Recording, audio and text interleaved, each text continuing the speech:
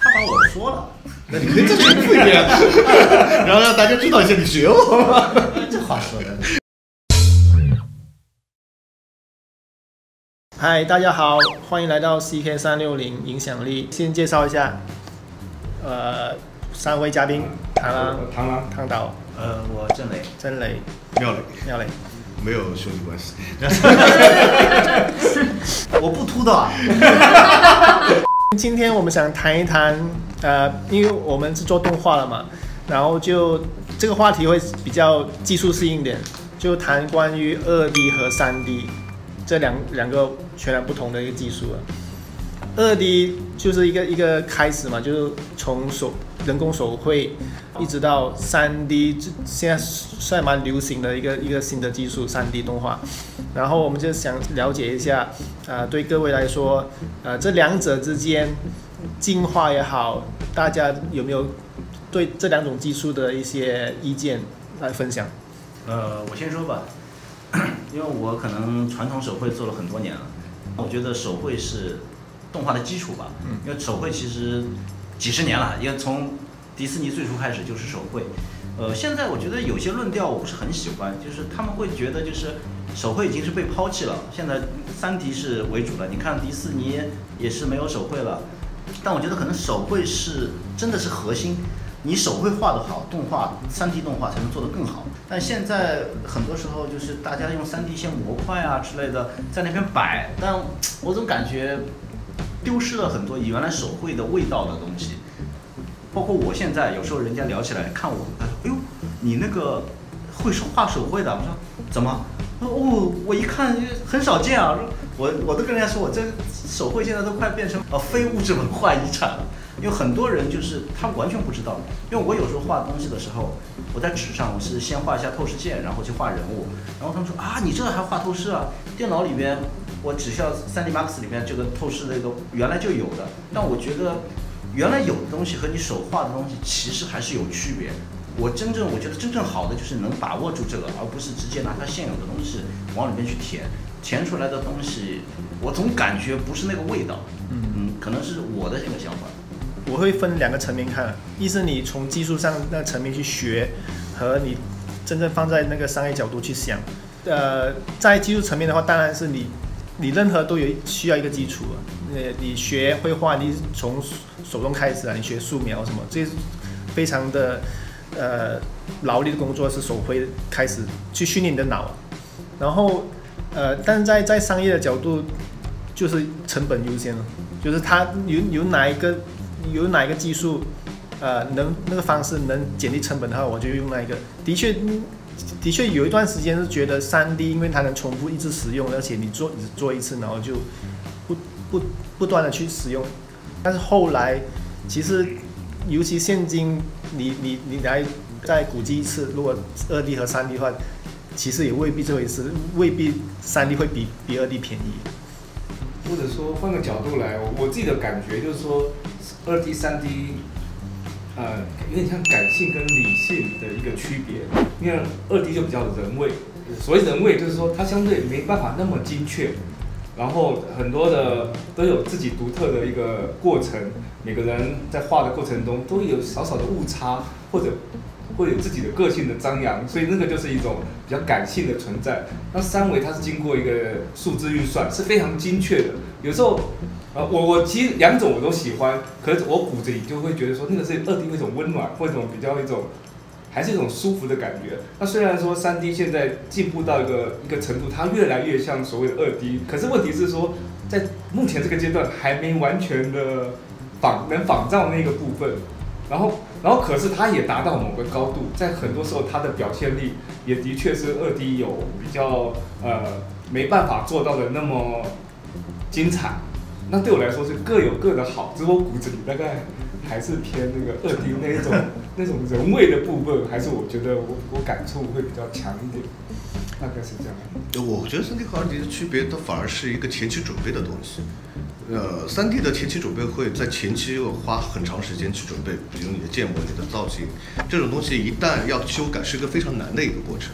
但是，一旦做完以后，你摆动作相对来说是比较简单一点，这后面就是渲染、灯光之类的。但是二 D 的话，其实一开始设计造型还行，就是说大家设计修修补补、改改，我出好多版都可以。然后一旦这样做完以后，但是在中间做动画的过程，画原画加中间画，这就非常的麻烦。那可能就是说大家用的力点不太一样，而二 D 的技术要求会更高一点，因为同样三 D 的话，大家可以分散开，每个人可以各司其职。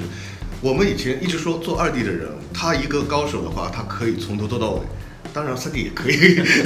呃，我觉得三 D 会有点难。我碰到大多数三 D 都只能说我能够掌握两到三个步骤，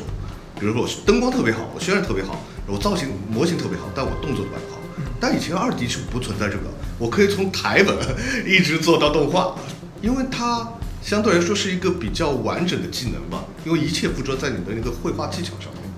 所以我觉得这个是有点比较大的不同的点。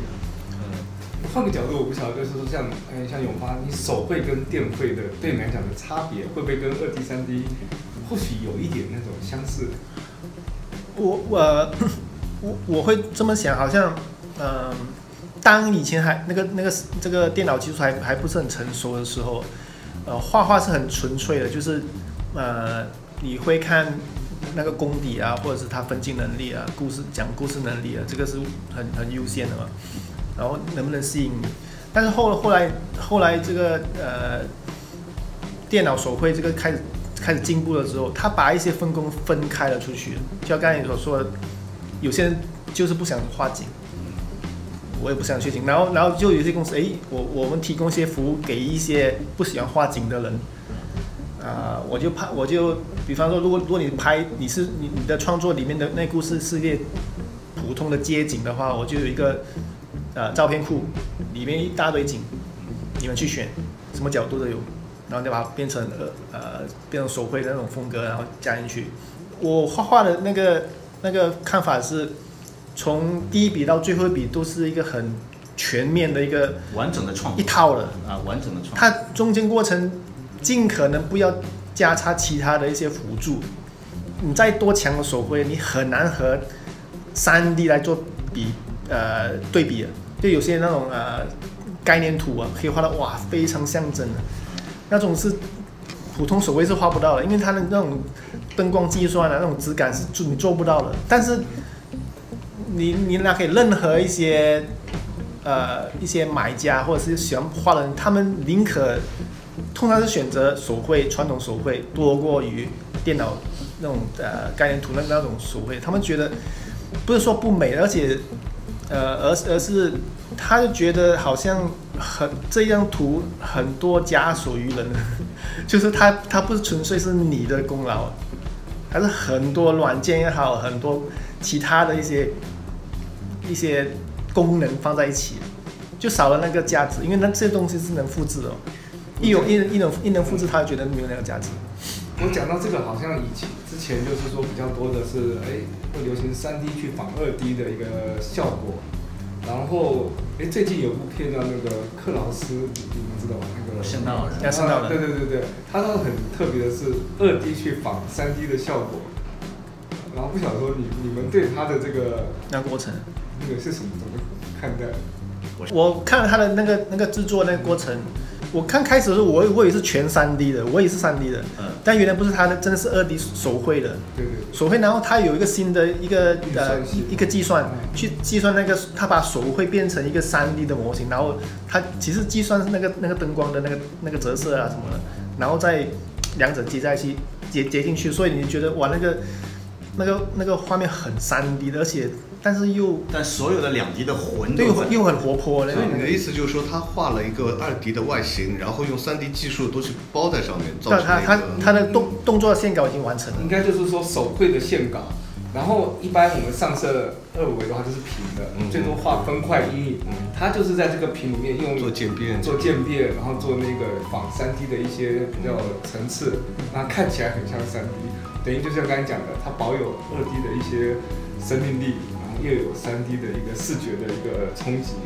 这这个我也觉得是一个这也蛮有趣的一个尝试。然后可能我会是这里比较偏向于做3 D 的一个，我对技术好像3 D 方面的，我对新技术的东西都会比较偏向一点。其实当听黑胶唱片，然后转到听 CD 的时候，也有一大群人说没有温暖的感觉了，只有冰冷的数码感。但真的是这样吗？我们只是一个习惯问题。现在连 CD 都没有了，大家听 MP3，那个东西更加 digital。那现在好像还会有人这样说，我觉得这个是一个时代交替的时候必然会产生一种可能对旧时代你怀念啊这种各方面的。而且我真的觉得二 D 手绘从几几年开始，迪士尼创造一九三几年不知道二几年我忘了，二几年对吧？然后到现在已经多少年过去，都近一百年了。三 D 产生多久？我们还没看到它完全成长的那一面。就没到尽头了。而且三 D 其实成长是一个非常快的。早期你看那个三 D 都是一个木偶那种形式，当到那个《超人总动员》那一集的时候，已经不一样了。因为那时候其实我对三 D 没概念，我那时候跑跑到法国去的时候，就有同事参与过那个项目，然后他就说：“啊，太牛逼了！那个出来以后人可以拉伸。”他说：“我说拉伸不是很简单吗？手绘都能拉伸。”然后他说，在三 D 里边这是一个巨大的技术含量的提升。那我才知道，原来这个东西就不断在成长。就到现在，我们去看那个，比如《精灵旅店三》，哦，那里边的那种夸张性，我觉得已经和二 D 没什么区别了，已经是非常夸张，已经做到可以用形变到这种程度。然后其实也在做不断的探索，比如说日本的有一个游戏 PS 三时代的那《阿修罗之怒》，他那时候是找了那个日本的最好的那种动画原画师，他把手绘全部画完，用三 D 的去摆，他也创造一一种又有那种打击感。力度感，然后用三 D 呈现的一种方式。我觉得三 D 不断在走各种路线，包括那时候奥斯卡不是得那个最佳短片的那个纸人啊黑本人是对吧？嗯，那个我觉得也是一种大胆的朝二 D 靠拢的一种方式。所以我觉得三 D 是一个至少还在成长，我们还没看到它头。但二 D 说实话已经到了一个嗯，就说你走到极限到瓶颈了。你我不知道二 D 还能再往上怎么走，二 D 能够走的路，未来就是和三 D 一起结合，可能创造出不同的东西，或者靠新技术的产生。嗯最后啊，大家觉得呃，二 D 二 D 动画也好，三 D 动画动画也好，呃，接下来十年后或者十年间会出现怎样的转变其实我个人还蛮看好 VR 的，所以该是对我个人蛮看好 VR 的。我觉得 VR 现在受制于硬件条件还比较多一点，但未来是那个 MR 这种那种 VR 和 AR 的结合的话，它可以给动画带来另外一种不同的体验，那就是真的一个虚拟空间了。就《黑客帝国》早就实现了。嗯，真的。